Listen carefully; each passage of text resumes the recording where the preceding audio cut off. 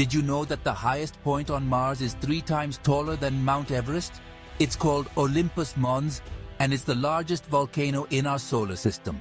Olympus Mons is about 13.6 miles high, while Mount Everest, the tallest mountain on Earth, is about 5.5 miles high. It's so tall that if you were standing on the surface of Mars and looked up, its peak would reach beyond the Martian atmosphere. With a diameter of about 373 miles, Olympus Mons is so huge that if it were on Earth, it would almost cover the entire country of France.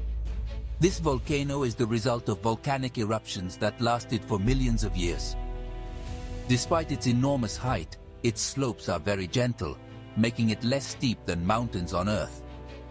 So, the next time you think about Mount Everest, remember that there's an even more impressive mountain on Mars. Follow me for more cosmic curiosities.